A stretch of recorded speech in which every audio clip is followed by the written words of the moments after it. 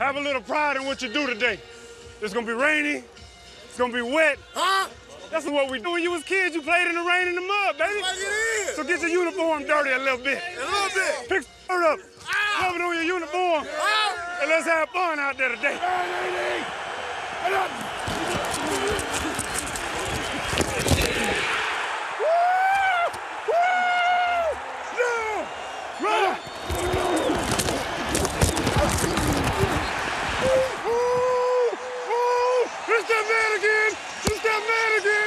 Woodson must have been drinking from the fountain of youth before this game. He's had a good night tonight.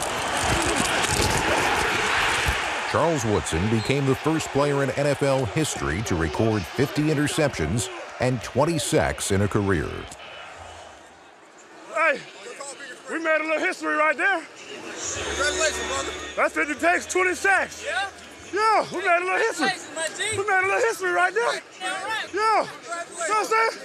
With my, bro- with my brothers, baby. The NFL's worst rushing attack shocked the Chiefs. Kansas City yielded 179 yards on the ground, including 112 to Latavius Murray. Touchdown!